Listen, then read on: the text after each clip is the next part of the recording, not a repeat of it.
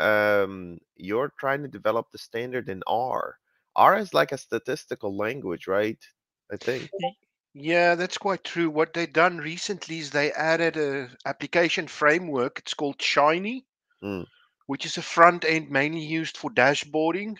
hmm And then they also started looking at um, a API. I think it's Plumber is the uh, the framework. Plumber. So okay. yeah, it's it's for analytics, but they are moving into the territory of applications. So yeah. Nice, nice. Hey, Christo, how are you? Hi, hello, Hassan. So, so C- Christo, I just met Felipe. I mean, he's been in our channel f- for a while, but he's trying to, um, uh, he's trying to write the standard in R programming language, right? Okay, yeah. So he's he's preparing something. He said, "Hey, can I just listen in and join you guys?" Felipe, where are you from originally? I'm also from South Africa. Oh my God, this is perfect. no, I live in I- live in Germany at the moment. Um, but yeah, from South Africa. Wow, I have all the Bafana Bafanas in here, you know, all the boy boys, you know. Yeah. All right. I'll, I'll tell you this much. I like I I like uh, I know a lot of people from South Africa, you know, and there's this guy you, you guys might not have heard of him, but he's causing a you know a big big, you know, noise in the media. He's changing the world every day. His name is Elon Musk. I think he's Oh. from South Africa too.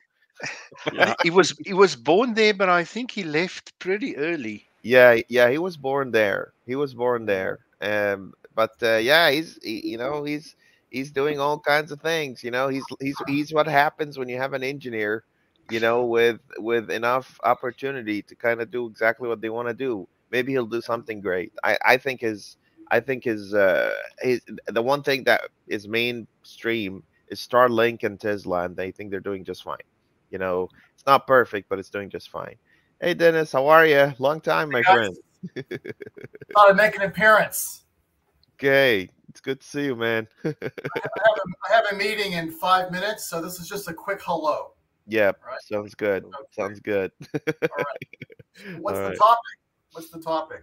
Oh, Christo has been doing a lot of research. So think about Chris as like the R and D of the standard community. He just goes and tries to kind of push the standard to different kind of uh, corners, different realms of of software development. One of the things that we're kind of thinking about is how do we simplify tracing, you know, and how do, can we incorporate that as part of the uh, software that we build. But today he has a he has a new thing. He has a a retry, you know, kind of pattern that he wants to kind of demo, and uh, I'm I'll just sit here and watch and see what he has to say. All right. Quickly share my screen. Yeah.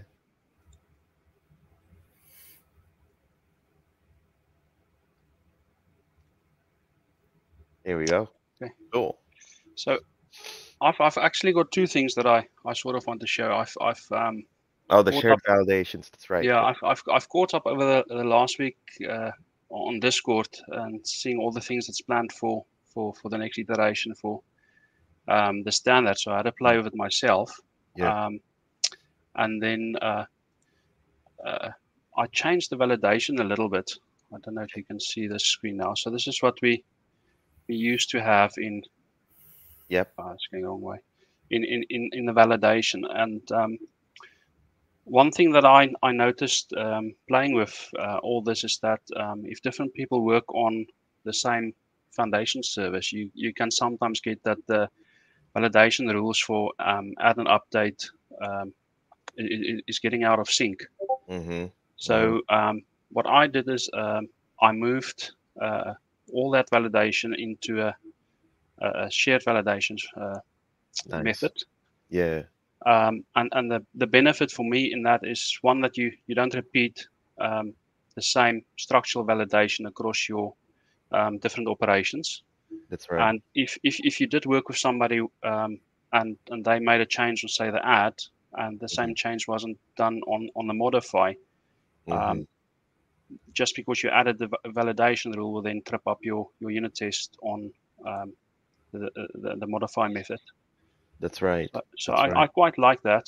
Um, Yeah. and, and, and to do that, um, I, I basically created uh, this method that Mhm. um, you can pass an enumerable, and then I extended the um, the validate function. So basically, uh, concatenating the enumerable um, shared list with Mhm. any any any logical validations that you would then still add in your normal way um, and that then calls into uh, validated, which which was a normal validation routine. So it's just just a little bit different. Um, Yeah. And then uh, I also saw on the blog post that that you guys are considering doing the same sort of validation on um, the gets. Yeah. So um, I updated that, and with with that. Um, uh, on uh,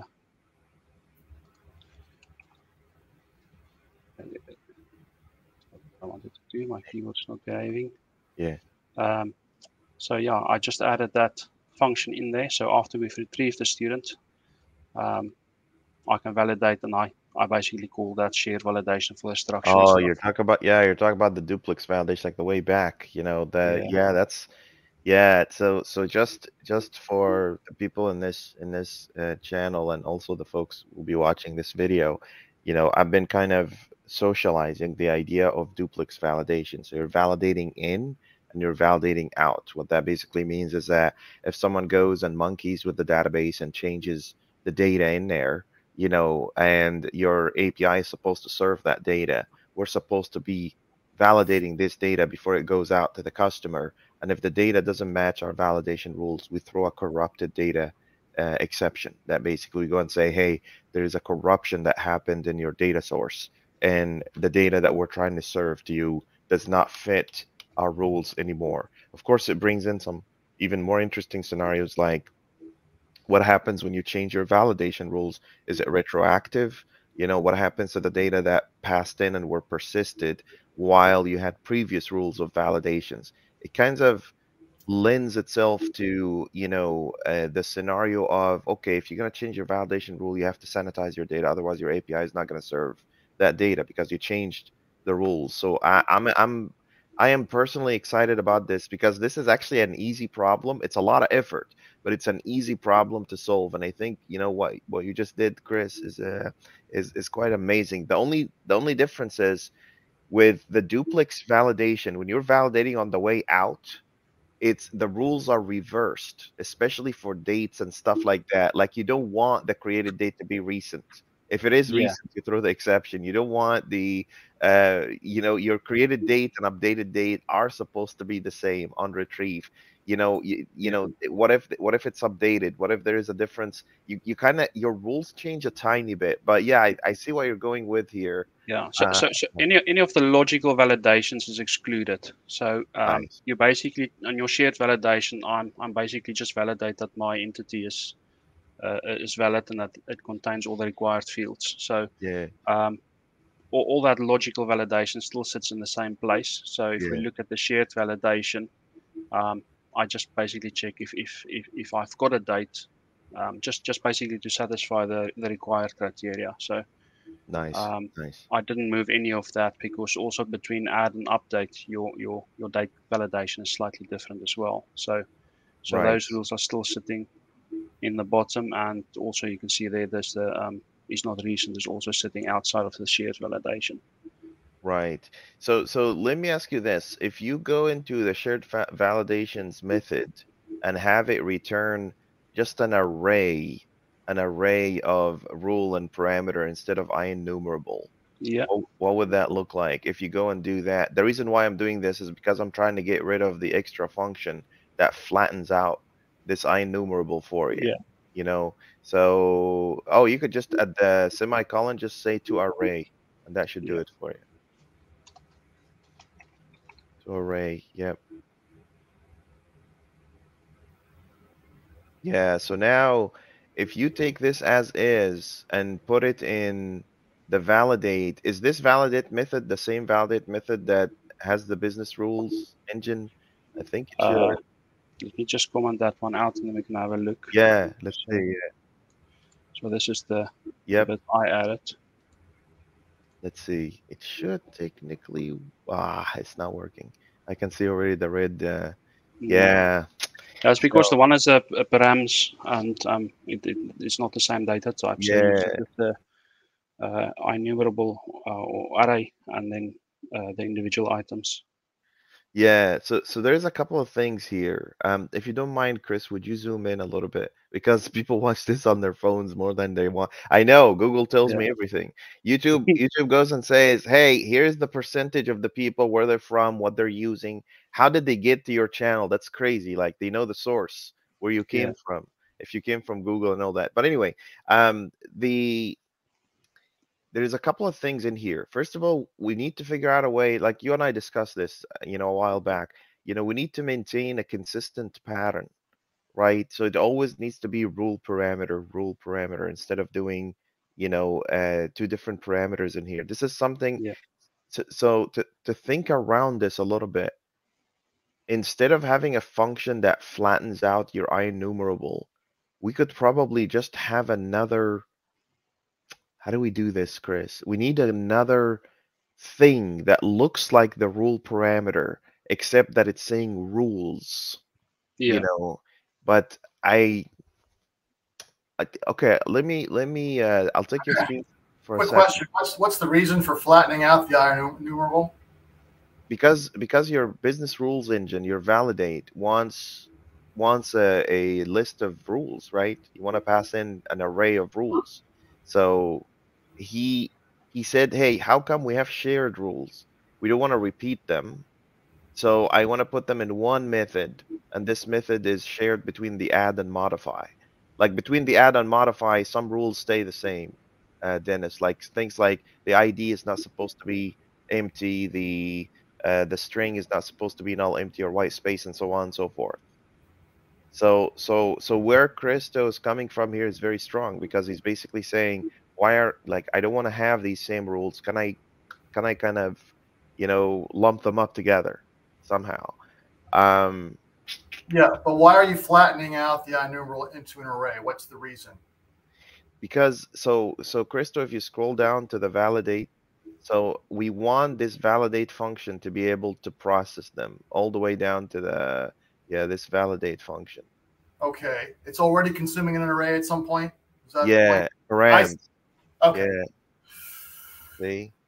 So so anyway so so here's what i'm here's what i'm thinking. Like okay christo here's here's a thought you know and you know like i said like this works but we want it to be beautiful so it's easy to remember. That's that's the thing about engineers so they don't have to be looking around saying what should i do now? So imagine if a world where we can do this so you have rule and you say is recent like this and you're saying student dot created date like that and then maybe you have a parameter and this parameter is name of student dot created date like this. By the way we have another problem about this part but we we can talk about this later.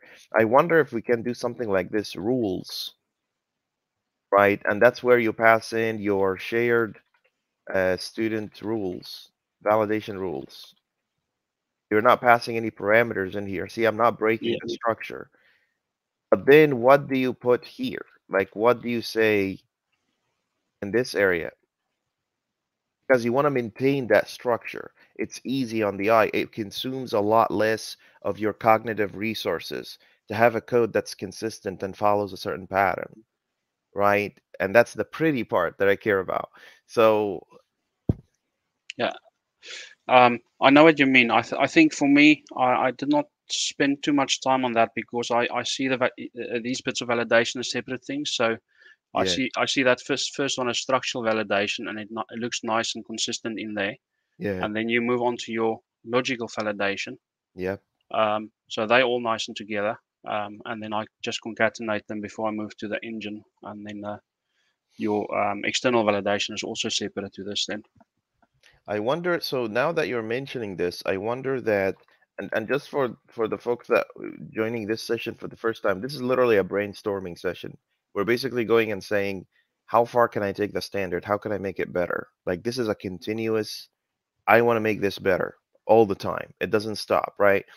So so another thing was that why Christo you you told me the other day like I want to pass in structural validations and then you want to pass in your logical validations and then maybe external validation. Yeah, they, they, they, they happen slightly different sequences, so I don't think you can put them in the same validate function yep. like that.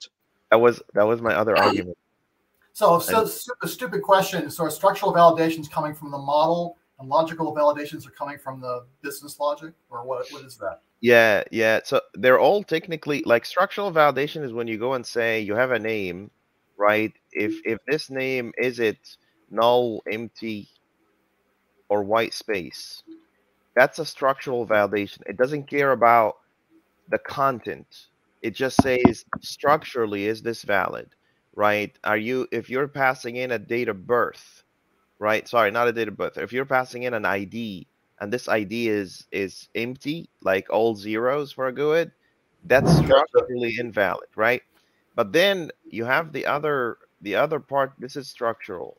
Structural, uh, uh, like that. But then there's also a different type, which is the logical validation. Logical validations, as I as I think of them and describe them, is basically when you go and say name is not or, or date of birth, for instance, date of birth cannot be, yeah. you know, less than 20 years old. Okay. That's yeah. logical. You're basically saying, yeah, so so the so the date is correct structurally. It's perfect, right? 19 you know, 99 or something. But it's not. And then there's external validation when you go and say, does this student ID match, you know, another ID in an external system that we're working with? So this is when we go and say, it, you know, go and eh, on modify, we basically go and say, go find this object in the database and make sure it exists first before we try to attempt and update it, right? Okay. So interesting. So for the external rules, mm it's just, I mean, it's just basically a string just, representing rules from the external server, but. Yep, it's a remote structural logical, basically. Uh-huh. It's it's a remote structural or logical validations. But anyway, like th- there's there's some there's some nuance to this. Like there are there are places where they kind of mold in together. Like you're doing structural, but it's actually logical. Like there are places where you go and say, well, you know, I want my ID not to be empty, but also this particular ID is reserved, like IP addresses, for instance, are reserved for certain countries, right? So you're are you talking about the structure? Are you talking about the logic of this IP? You know, it kind of molds in together in some scenarios. But anyway, the the, the bottom line is, you know, um, I I could talk about validations for hours, but you know, the bottom line here is that we can present them this way, but this here takes away the engineer's ability to run the validation in a certain order, which is also a problem. I want the engineers to be able right. to kind of put in the rules in however so, structure they want. Go ahead. So why don't you break this up into a fluid fluid syntax? Fluent syntax, like you go and say validate student or student student dot id is invalid, something like this, and then you go and say for that just something that comes off the top of my head. Student name, you know, is invalid, stuff like that. Is that what you're trying to? Well, so but you can break down instead of instead of stuffing all these parameters in the validate method, you can break this up into validate structure, structural valid structure, validate structure mm-hmm. dot dot whatever parameters you need to pass, uh, validate logic uh, so that that you break the, the, validate part up into a fluent.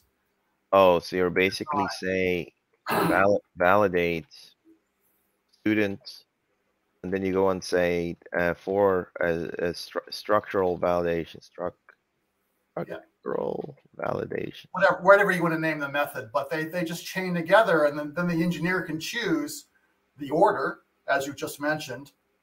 Mm and the and the uh, length of the chain. There may be, uh, you know, other libraries following following this pattern that he's that he's implemented himself, and he wants to add to this to the chain. He can do that. It becomes middleware at that point. So this is this this might look great, but would would engineers be able to remember like implementing this, allowing this to actually uh, well, like this is the culture. And this is the modern culture for most C sharp developers now. They're very familiar with fluent fluent design because it's pervasive throughout .NET now, especially in ASP.NET Core. No, no, no. I mean, like, you're gonna have to go at the bottom of your class and kind of implement, you know, your validate right method, and then you're gonna have to go and create maybe a um a an extension. So that's validation extension. right. Right. Well, I'm order... assuming that's going to be part of your library, though, right? This is just going to be on tap for the developer through whatever library you're creating here and with extension, with their ability to extend their own validators, you know, at we're will. But yeah, we're trying to keep away as much as possible. There's still some issues with it, but we're trying to keep away third parties library third third party libraries from leaking into your business logic. It's supposed to be abstract.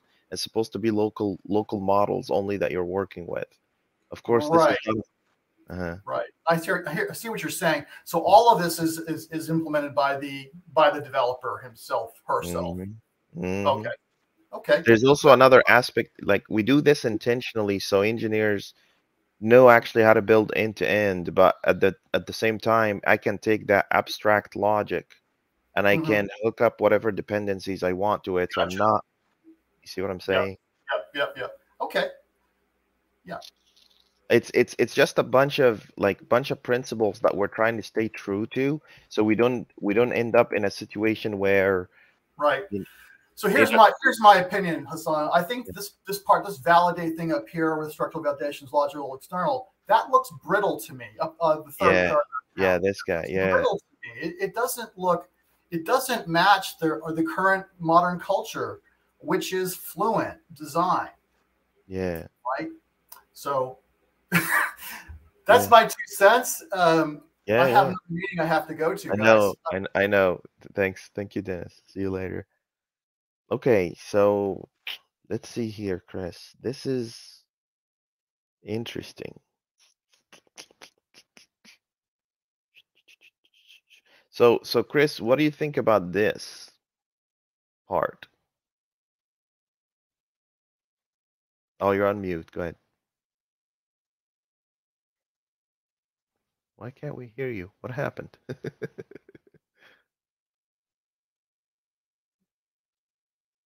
Felipe, are you able to hear Christo? Oh, you're on mute too. Everyone is on mute. I can hear you, Christo. Uh, oh, he had, yeah, he had to, he, yeah, he had to kind of drop. Do you have any thoughts about this part here? We're basically. I, I kind of like the fluent idea as well, to be honest. Yeah. Uh, only reason for that is I think about when I'm porting it across. Yeah. That syntax is much easier to implement in a in a more uh, how would I call it mm. less sophisticated language, you know. Yeah, yeah. In in that particular structure for for uh, fluent validations. Yeah. Yeah. yeah. yeah. Christo, are you still with us? No, I can't hear you. what happened? No. so so hold on. Go to settings in the StreamYard and see if you can uh uh Okay, while Christo's trying to fix this. Yeah, I also have another question question, yeah. Jay, son. Yeah, go ahead. so obviously if you in your validation service, mm-hmm. I was just thinking what you said about the duplex.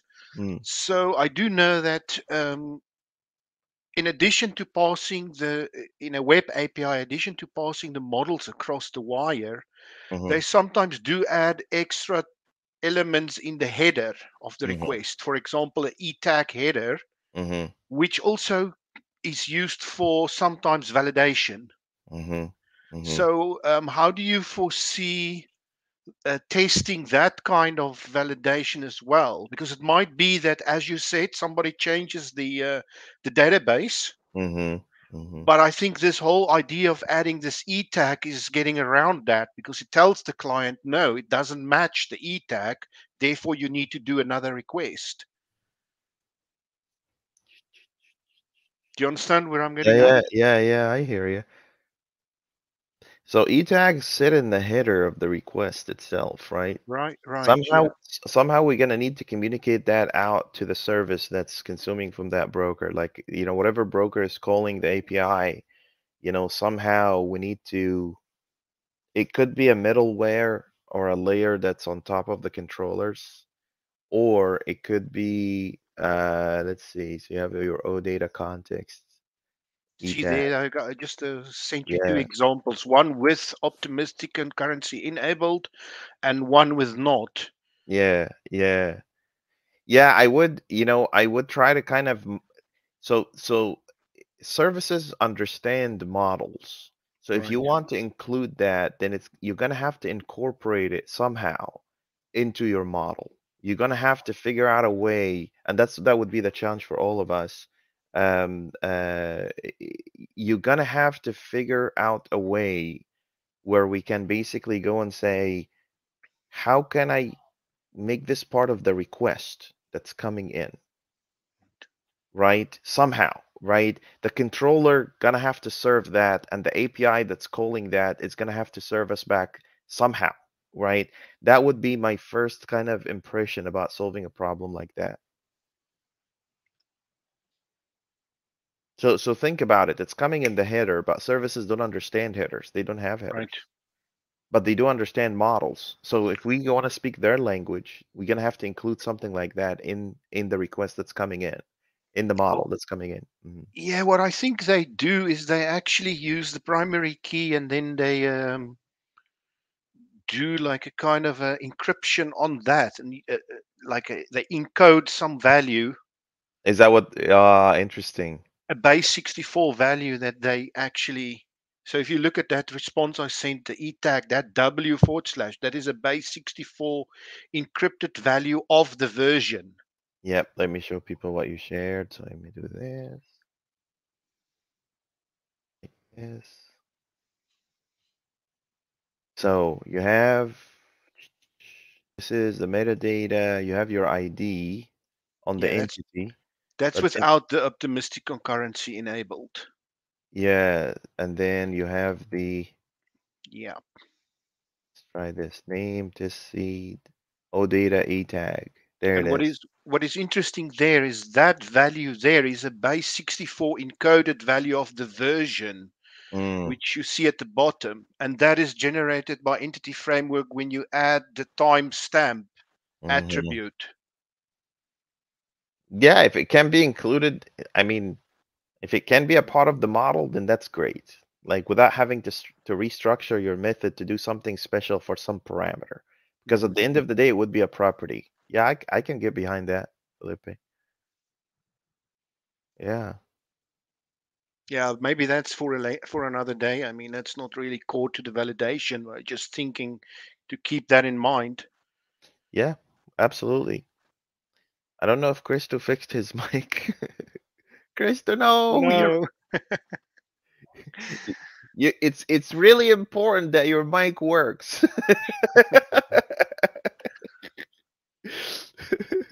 I don't know, like, uh, okay, so I don't know why his mic is not working. Um, this is the first time this happens. Okay, maybe I can do something on my side. The only thing the only thing I have is edit mic settings. Ooh, I can edit his mic settings. Automatically adjust mic volume echo cancellation. Nope. That's all I can do. Also, I can mute and unmute. Say something, Christo, now. Nothing. Damn. I was hoping I was hoping to hear his two cents on this E-tag thing, but Anyway, I, I I don't know. Uh, Christo, do you have a different headset or something? Maybe. What up, Wardy? Hey, Paul. Hey guys. How's hey.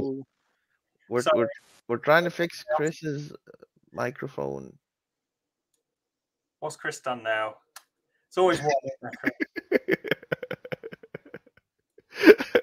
he changed the validation structure of the standard and then so so paul let me ask you this we were just talking about um validation rules right and looks cool. yeah so christo has this idea of going and saying i want to pass a bunch of rules you know the shared rules across multiple entities so for Yeah. for for add and modify you kind of have some shared rules that you do for both structural validations, right? Yet, for instance, if you have a student coming in, whether it's an add on modify, the ID This is interesting because I was wondering about turning um, validations into like a support broker type function. So you could farm it off, and then the support broker would figure out what the set of rules are, and then apply the correct ones to the object being sent in. So you could have like a generic validator. But this is Yeah. probably a, a lot better because it keeps it in context, doesn't it? yeah. Where do the rules actually come from, though? That's my only question. Like, do we have some sort of rule provider that we can pass in? he he created um uh he created an IEnumerable, you know, of that. So he created an IEnumerable. What's Yeah. what's happening in the back? Okay, let me try to vo- okay, do back. Hold on, hold on. Sorry, I got noise in the background. let's see uh echo cancellation yeah so here's here's christo's implementation he basically created a a shared validations that returns basically an array or IEnumerable of of rules and he's basically using them in the validate method see what he did Yeah, that's cool. sweet See, the way I used to do validations Mm. was I created an object extension and I used the data annotation stuff. So I could just say object.validate and the object Mm. would validate itself. But obviously, that doesn't fit the standard. But it Yeah. was really clean in line because in my service, I could just take in, say, a student. I could say student.validate. And if it didn't throw an exception, I knew it was valid. Mm. mm, mm-hmm, mm-hmm. Anyway, I so so Christo, I know you can't I know you can't speak or you can speak, but you know your voice isn't coming through. But the one thing that I wanna just press on is just two challenges that we have with this. We need to maintain structure somehow. We need to maintain structure. Like like the only problem that I have with this is basically there are some parameters that have one form of structure like rule and then a parameter and then we have others that are just a method that we're passing in. We need to figure this out. The thing about just so you just so you guys know you know Christo will figure out the get it to work part and get it right part. I try to get it pretty. I just make it look easy to remember and that's what these discussions are all about. This is a series called the standard discussions where we base it's basically r&d for the standard. Um um Like, like me with data, I solve the problem, you make it look good. very much very much the rest of the tech industry you know people will come and be like hassan is this standard compliant i'll be like it looks ugly i don't know what to do with it but i need to fix it you know so, but so uh, clearly not. I- i'm just trying to make so so i'm trying to make programming languages especially if you're using something nice like c sharp you know definitely not go definitely not go. But um, if you're using something like this i want it to feel natural right? Like an extension of you like you're basically you know communicating with the computer but you don't have to kind of bend bend your head backwards. You don't have to twist your brain just to kind of figure out how to express a certain idea. By the way just so you guys understand the newcomers uh, uh, channel in the standard it's basically a bunch of interns in my startup. And these folks i'm you know the way i'm teaching them programming is very very new something i'm experimenting with which is basically to go and say here's your homework today. Pick up a random sentence from the news and try to translate that into c sharp. What would that look like? So it kind of it builds up that muscle of you know can you actually translate ideas into code and then pick up the code and translate it back into ideas. That kind of muscle i think is extremely important for our uh, for our industry. If you can't express yourself in a proper way how am i supposed to uh, be able to teach you something as advanced as cul-de-sac or lake house or you know any of these advanced concepts right? Um, so so anyway i think this is just a topic for people to kind of think about. I there is also some i think Christo also has something about retry Christo can you navigate to your retry logic real quick it's breaking my heart that i can't hear him but uh he has code. Watch this, Paul. Oh, that's fancy. What does with retry do? It retries. it, so it literally what does it try and oh so okay in a loop try it's, it catch any exception try it again it, it's gonna need a little bit of cleanup but uh, right. he's like the structure is not bad at all i love it he's basically going and saying interesting it's it's gonna need a little bit of work like but I think I think it, we could use Polly and put it behind a broker, Paul. Isn't Polly what they use for retries? Yeah, yeah. Never you could use. It. You never heard of Polly? No. Then, to be fair, I, I don't write retry logic like yeah, because like, because your systems work the first time always. Yeah. Well, well, what I tend to do is like in the event of an exception that I can't control, I bomb out, I log what the problem was, and then essentially later on I retry the operation again. And I always build into my business logic like if an operation is like half done, the business logic will detect that and then complete the bit that's not been done from the half done work, if that makes sense, when I fix the mm. problem. Yeah. Yeah. Um, I don't know if that's necessarily the right way to go, but it, it feels easier than doing something like retries because I don't know, just like all hell can break loose with retries when because the system has to start assuming things, doesn't it? Yeah. Hang on. It looks like he got a new headset. No, we can't hear you still. Why is that? No, I can hear it very faint. Um, hello. Yes, oh, yeah. better. Yeah. yeah. He switched it off and on again. what happened? I don't know. Man, it's, right. it's to hear you. This is the highlight of my day. I am able to hear Christo again. Well okay. done, Christo. You're now qualified to join the newcomers channel. yeah yeah, so I, I, think um, with this retry, um, I think the main thing was just to, um, so in the in the use case that I had, um, I had to remove some stuff from the file system, and the files was always always, always locked. Hmm. Um, so I, I just created a, a, basic loop, and then I could also specify a specific exception type to be retried on. So if it doesn't sit in that list of exceptions, then you don't retry on it. So it's not everything that's getting a retry; it's only specific things. Nice. Right. Nice. Do you put a delay on the retries? Yeah. Um, so I've I've got a, a time span of uh, three milliseconds at the moment for the unit test, but um, nice. Yeah. So, um, and we can we can overload this uh, this function as well if you want to pass that in, so you don't have to. But but for this, I just start coded the the retries and the um, time span. I I also just, love Mhm. I love that you're putting it behind the the exceptions because it's kind of an extension of the exception. Yeah. You never retry unless something errors out. Why would you Yeah. retry if something doesn't? That's beautiful. I love the thought there. Yeah. This also backs up your thought that um, exception handling is a form of flow control to some extent. Um, Yeah. So yeah, it's It's if else basically. If this exception, if it's this type, it's just a different way. We call it selection the iteration, selection, and sequencing. That's what a yeah. programming language is, but uh, or that's what I call logic at least. So, so Christo, Christo, what do you think about Polly? Uh, Polly is nice, yeah. Um, I've used it in the past. I was just playing with this to to localize the, the handling. Yep. yep. Um, and uh, just a, a, lightweight version of, of, of, of, something that I wanted to um, get get done quickly. But yeah, we can certainly use Polly. It's quite a flexible library. Um, back on the exception handling, um, validation, um, I think we said we can potentially also move the validation in, engine external. Yeah. And then just just just have the validation rules in in that validation um, partial file. Right.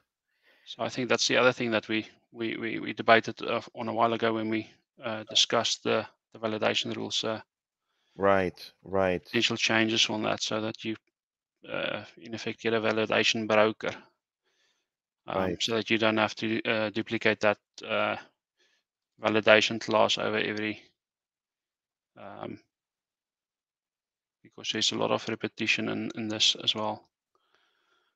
So so so here's so I'm having a bigger problem now because you know extending I'm gonna take your screen for a second, uh that's okay. Um the I I still want our business logic, like our methods. Like right now we're in this situation where we have actually let me let me just open up a project. I always have at least two or three open, which is fun. Here. Now we have a little problem because now we're in this situation where let me switch back into file mode so it doesn't bark at me when I start doing errors. It really bothers me when it does that. So APIs, services, foundations, and then you have the, let's just pick up efforts for instance. So here's now the new problem that we have. I don't think our model or the way we represent the code is extensible. And the reason for that is like we did the try catch, great. Everyone is happy, everyone goes home, perfect. But now we have things like with retry. We also want with throttling. I think I misspelled that Yeah. throttling. And then with check this out with secu- with um what is it with tracing? Yeah. So It's not I, working. I try I tried doing extension method for that, but uh, at the end of the try catch, you're only sitting with a value task of of effort. Right. So so so You don't see anything. You don't have what happens what happens then is if you if you do want to extend it, you need to go into the exception class right? so that you can actually extend the delegate. But then you hide all that that Right. niceness in the exception class, which is I also, Christo, I also want to be able like eh, so so there's this problem with structure. It has to look pretty somehow. Mm. But also there's this idea that I have where I go and say with security and then I go and define the roles of who can access this. yeah So admin, only admin, only uh, operator, whatever the case may be. So you see, the function is its own island, self-independent. It, you can now pick up that module and go sell it to any engineer out there and say there isn't a lot of bells and whistles that you have to work with. My problem though is not functional; it's just structural. Like this Mm. looks ugly. Even if I do this, it looks terrible. yeah we've got the rollback on there as well. Oh yeah, that's right. That's right, with rollbacks. So all of these things need to be implemented. Like just for the people that because someone yesterday, you know, told me this and I wasn't very happy, said, Okay, the standard is perfect. We figured it out. I'm like, no, we're not even close. We're barely scratching the surface. I'm barely trying to make okay, we did build a lot of enterprise applications according to the standard, but that doesn't mean we should stop, right? The whole idea is to keep trying to enhance this. What What about instead of passing in something like um, uh, a logging broker, because you could put with logging on there as well, couldn't you? Yeah, yeah. You could pass in some sort That's of with um, yeah, yeah. Excuse the terminology because I know you're going to hate it, but like a uh, sort of utilitarian or sort of common services type broker that's like common across your entire code base, right? So we could build it's that like he like a, wants to fight with me. It's like he's trying to Yeah, piss yeah. me off. I know we'll find a better name for it, but imagine you've got like this uh, broker that you pass in, Uh huh. and you and you do much like your try catch. So you'd say that broker dot, um, you know, execute or something, and then you give it your async function, Right. and internally within the broker and through DI or configuration or whatever, we add in all of these widths into that. But Right. we do the, we build it as a separate to the standard package. So we have lists of services, and then through configuration, we decide which ones we want to plug in.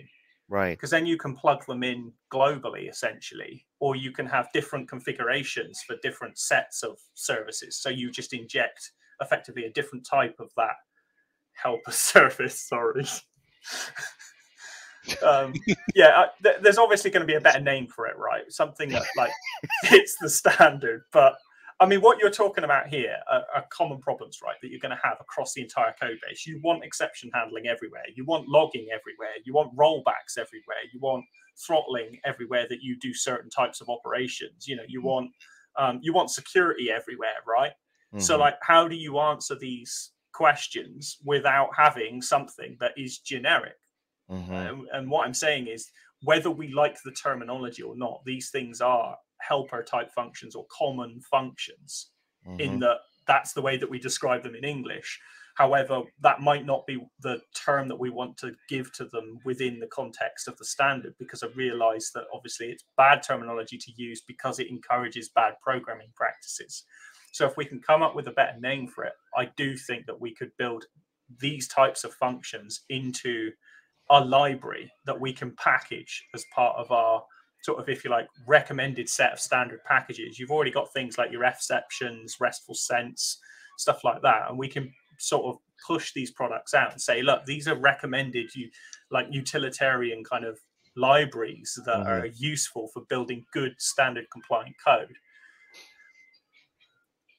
and then uh, you know just just because these by the way i'm not super happy about pulling i was just telling dennis this before he joined in you know we had we had another dude in here and you know one of the things that i'm not super happy about is pulling in third party libraries because even if i created it it's still third party and to your mm-hmm. application uh, uh, or even external uh, or even native into your core business logic so if we do something like that it's going to have to hide behind some local abstraction layer. It must. It needs to, mm. right? I think but, I mentioned this to you before, didn't I? Because you were yeah. talking about stuff like RESTFulSense, and I said, yeah. well, to me, that's a third-party library, right? Yeah. So, although for you it's an internal thing that you've created, to me, yeah. you know, it's it feels like good practice, but it's yep. still third party. Yep. So, so, so just just hear me out, guys. You know what? Listen, this is how this is how I visualize these services, just so you guys understand. A service to me is just an object that is 3D. It has multi dimensions, and uh, it it gives me the kind of ability to go and say, okay, this is your object. Let's see here. So this is purposing, modeling, and simulation. I think it's in here. I'm not wrong. Have you ever heard the term aspect oriented programming? Yeah, of course. And Anders hates it to death because it has uh, reflection and stuff. Yeah, yeah, yeah, This is what InternalMock is, by the way. It's aspect oriented programming. You're injecting something, you know, into the system on build time. So there's hidden code that you don't see, right? This is why we say partialization why partialization is okay because you're leaving a trace of something that's happening to your code. When we say try catch, that's a trace. You're basically going and saying, hey, wait a second, there's something else going on there. But aspect oriented programming, um, the problem is that your code doesn't look like it's doing much, but when you're building your system, it's injecting code. And Anders, they asked Anders about this, and he was like, "This is garbage. I'm not gonna use that. I'm never yeah. gonna use that." I don't know. There there might be a usage. I mean, again, we're using InternalMock, right? You know. By the way, if you fixed it, please push a pull request, please. If that's uh if that's an option. Oh yeah, I totally forgot about that. Yeah, I've still got it locally. this, this is how I see these services, right? Hmm. Is you have your logic. That's the most obvious, you know, kind of surface. But everything else is just different uh, aspects of this service, right? So, and this is like this is just for us as humans to understand, but it's eh, but it's infinitely multidimensional. Like what what Christo just did, he said there's exceptions, and the exception itself has a dimension called a trace. Uh, sorry, retry. Right. So there's that in mind, right? Um, I'm trying to turn this image into code somehow okay and this is going to take a little bit of work and i need your help. I need you to kind of tell me oh this is we can get behind this or we can't right? Can we actually get behind this? Can we actually make this look something pretty? Because that's not pretty. That's disgusting. I'm not going to look at that. Nobody is. Here's another idea that i have. With and then you include in here a bunch of things like uh, uh, uh, uh throttling broker, uh, tracing broker, a bunch of things, but it's also horrible. Right. That see, that was my theory. So you could say with, and then you pass in like um, you know a utility broker stack. So I don't know. Is it okay to pass in, say, an IEnumerable of support broker? And then you can say with this IEnumerable of support broker.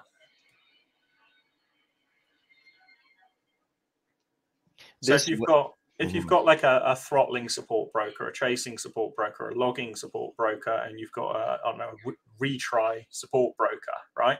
Mm-hmm. Those things ultimately behind them are going to have standard compliance services, right? Right.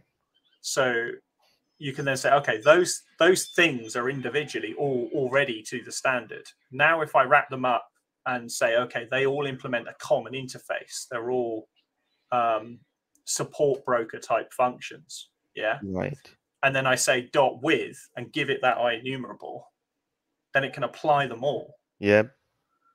But then, but then each one of them has to, they have to comply with some interface. So this with function will call that.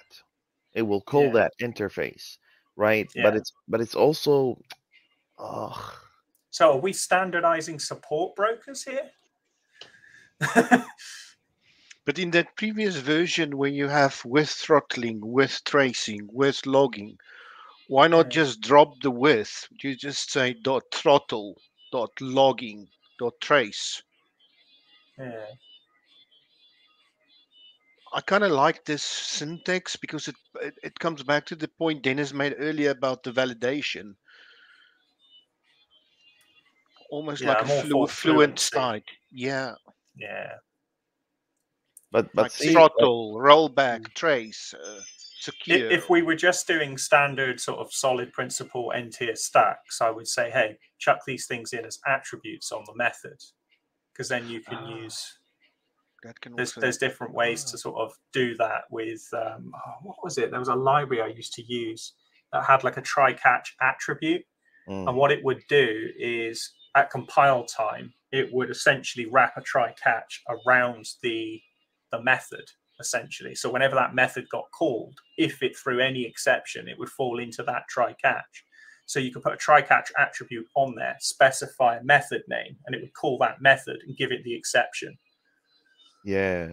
Similar um, to what you do on controllers when you say security or or roles admin, and then yeah, only that. an admin can call that um, route. Yeah. So I'm thinking that like all of these support broker type functions are essentially that you know you want to mm. log a call you you put a logging method on it and or logging attribute on it and then you specify some parameters. But but uh, by the by the way to chris's point i think these two like this and this they can be extensions like this this here. Yeah. These two guys they can be extensions of try catch like these two will be, be behind mm. try catch because these two cases belong to exceptions. You don't roll back unless something bad happened. You don't just roll back for the funsies of it. But there are some edge cases where you will want to roll back based on a, a value that you received from the outside world that says, oh, by the way, that student already left the school. So roll back your request to uh, create a library card for them or something like that. Yeah, you sort of want to orchestrate it, don't you? So you want like an orchestrate attribute where you can say orchestrate, try catch, rollback, log, trace, yeah, secure. So so anyway, I just want to say this, like just something for you guys to think about because if we can solve the problem for modularity and extension, like like as far as this goes, universally everyone that saw this said this is beautiful. They don't know how long it took to come up with something like that, but this is beautiful if we go and do this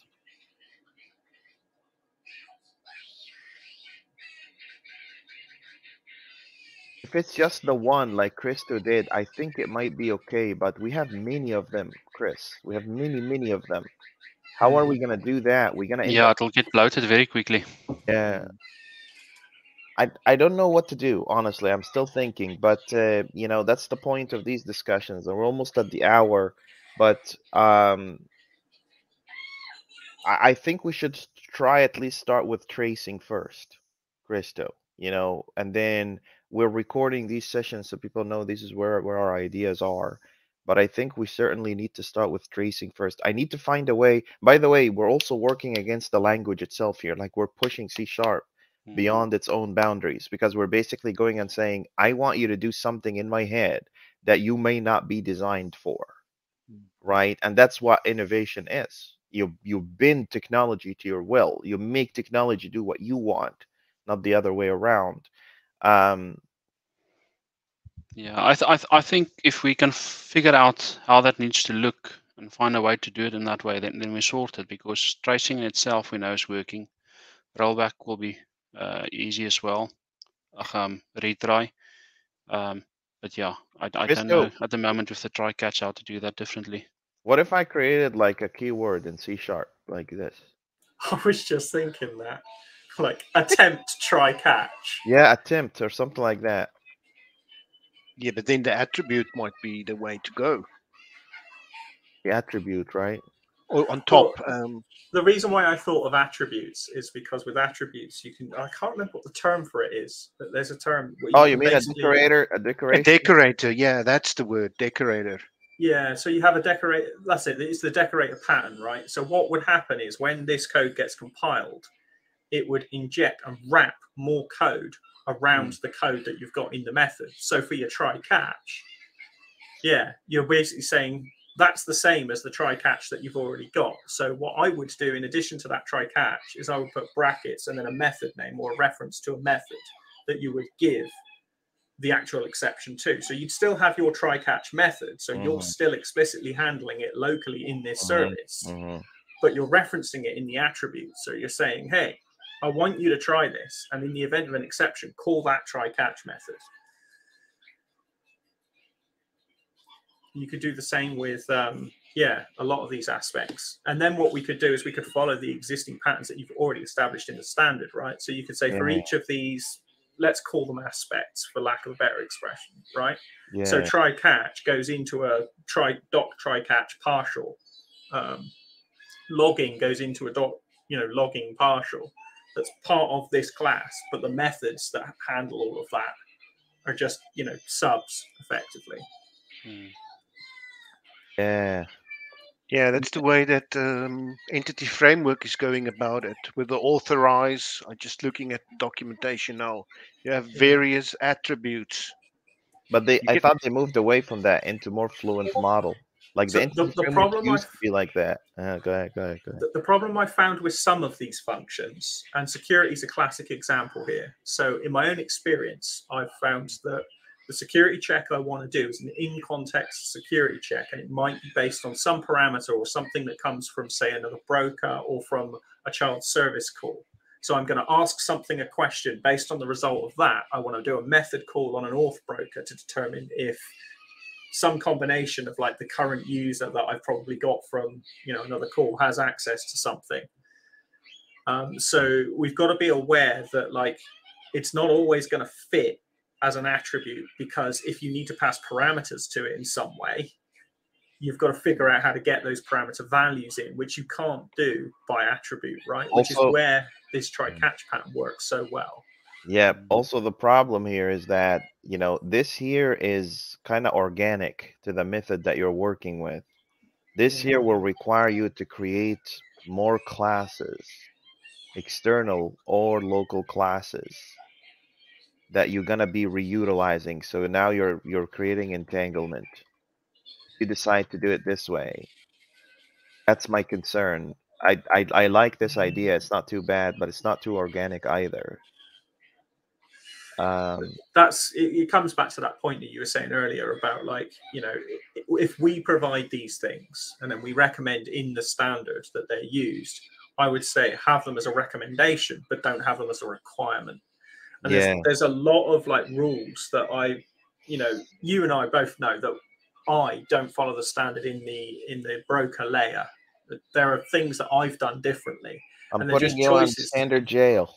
yeah, and they're, they're choices that I've made because I've come against uh, situations where I didn't feel that I could nicely fit into the standard the way it's written, and I feel like like the standard needs hard and fast rules that are you must do this and then it needs some optionals. Like and if you want to implement our best practice we recommend you do this.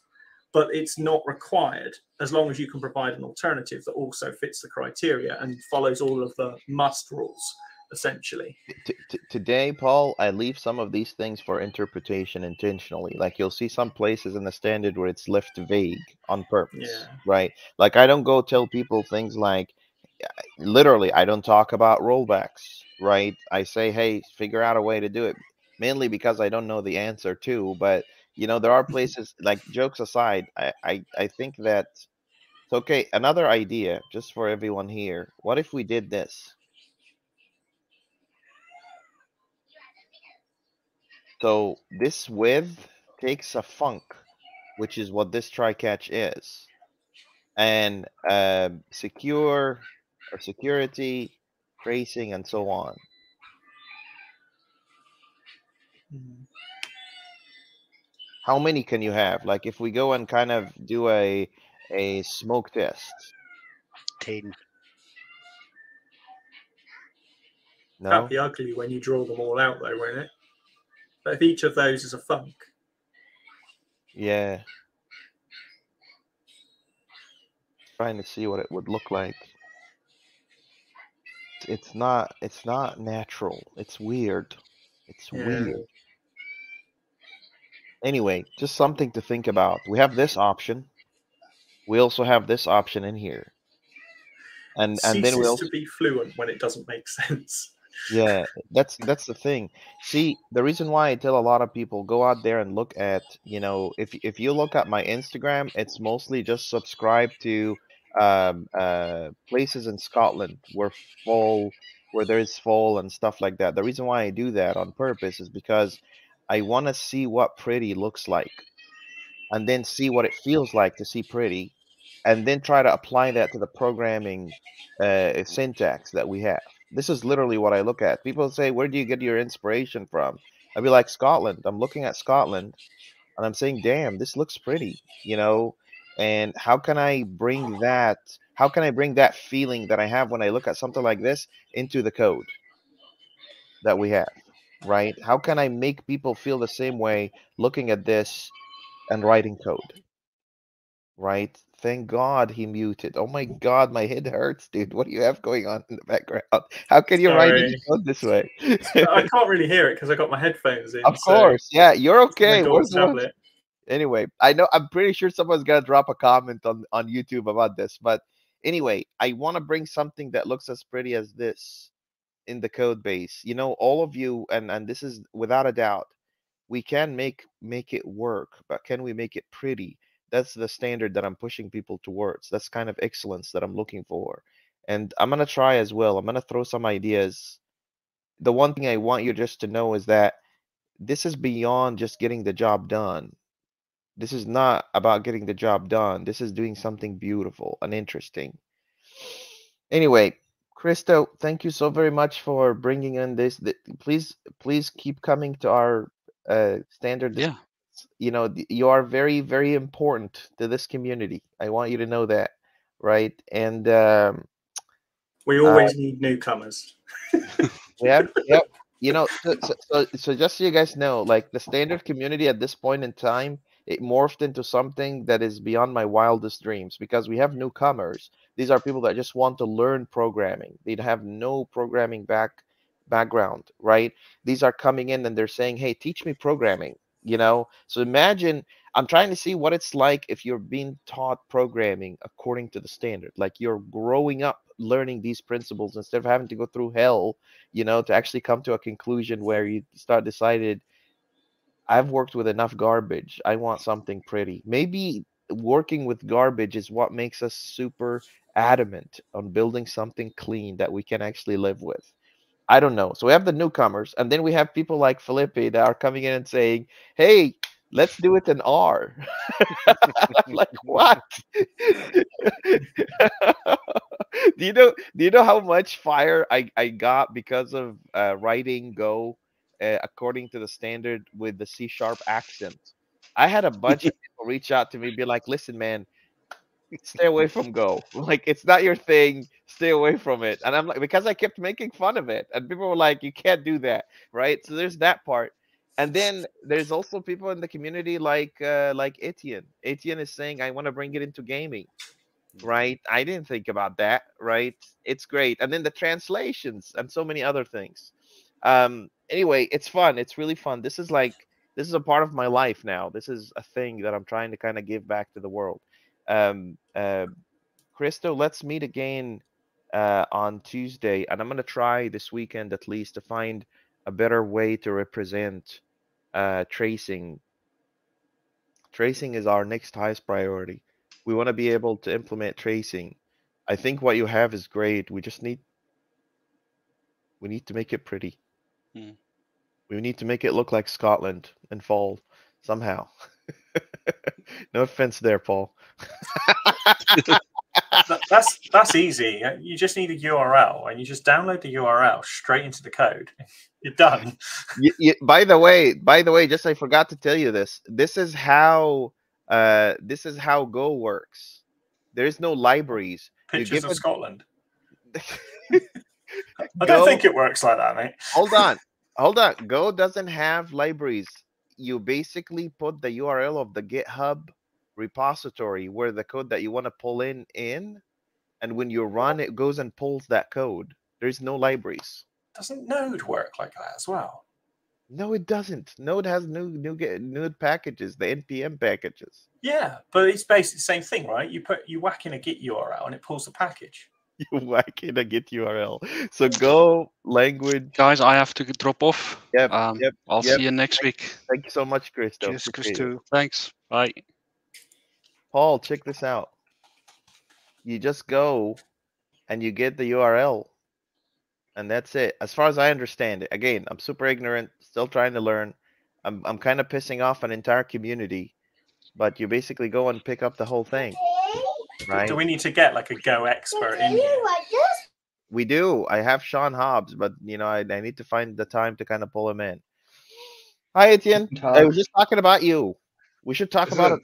We should talk about a million dollars. Maybe it'll show up. We'll see.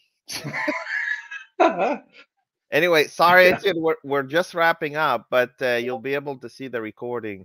Um, um, anyway, you know, bottom line, you know, Paul, Felipe, you know, and Etienne, after you watch the recording, and Christo, you know, just if and the people watching us, if you can come up with an idea that can make our code pretty, please reach out. You know, this is really important. You know, if we can standardize and simplify coding, we can use that power to build anything in the world. We can do a lot of things that are very useful for people.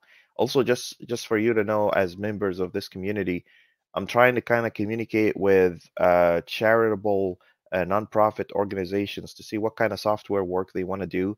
So even the standard compliance systems that we're building is actually going towards an organization that does humanitarian work.